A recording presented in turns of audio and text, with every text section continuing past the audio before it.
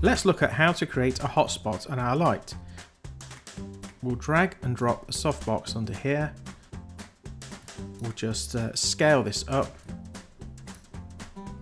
Okay, and this is a very flat looking light. So what we want to do is, there's the master content, but we'll go across to our value blend and we'll make this active.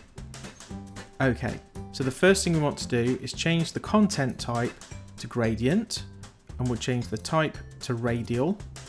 And then on this value ramp, let's make the middle white by clicking on that and dragging the slider up. And then we'll make the edge a bit darker. Now to see the effects, we want to change the blend mode from add to multiply. So then this gradient is multiplying with the values of the master content. If we use origin X and Y, we can now move the position of this hotspot. So let's move it to say the bottom of the light and we can change the extent, how far it goes across the light.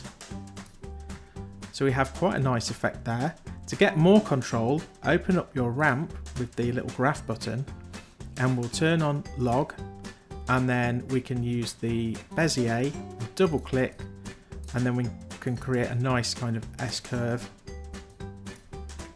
Okay, and then we can make the brightness of this brighter and then we can change the extent to see how far across this hotspot goes. So I'm going to lift it up a little bit here. So there we go.